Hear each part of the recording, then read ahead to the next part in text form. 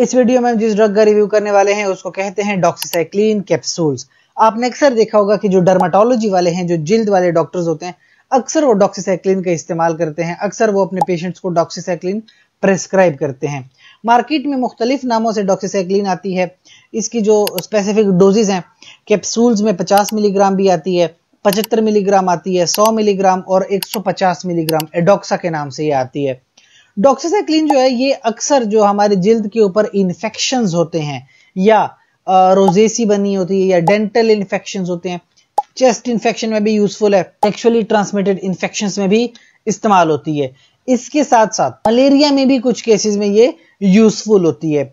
और ये अक्सर प्रेस्क्रिप्शन ड्रग है, ऐसे नहीं है कि आप आ जाए, किसी भी फार्मेसी पे चले गए, और आपने डॉक्सीसाइक्लिन की टैबलेट ले ली, या एंटीबायोटिक के तौर पे ले ली। ऐसा नहीं करते बेसिकली डॉक्सीसाइक्लिन कोई डॉक्टर ही आपको प्रेस्क्राइब करे, वो कुछ सोच समझ के, आपको देख के आपको प्रेस्क्राइब करता है, और तभी आप ये किसी फार्मेसी से लेते हैं। कुछ इसके साइड इफेक्ट्स का ख्याल रखें। डायरिया वगैरह अक्सर एंटीबायोटिक के साथ कॉमन है, और रैश वगैरह पड़ जाती है। कैप्सूल्स हैं तो निकलने में थोड़ा प्रॉब्लम हो सकता है।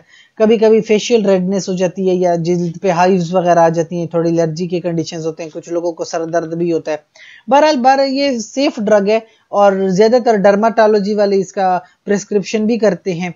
इसके अलावा अगर आपका कोई सवाल है तो आप कमेंट सेक्शन में पूछिए। साथ ही प्रेगनेंसी में याद रखें कि कभी भी कोई मेडिसिन खुद से इस्तेमाल नहीं करते, बल्कि अपने गायनाकोलॉजिस्ट से मशवरा करें। और प्रेगनेंसी में कोई भी ड्रग गायनाकोलॉजिस्ट के मशवरे के मुताबिक ही इस्तेमाल करें। इसके अलावा हमसे कोई सवाल है कमेंट सेक्शन में पूछें। साथ ही गुजारिश करूँगा चैनल को लाइक कर लें कमेंट करें शेयर करें और सब्सक्राइब कर लें। शुक्रिया।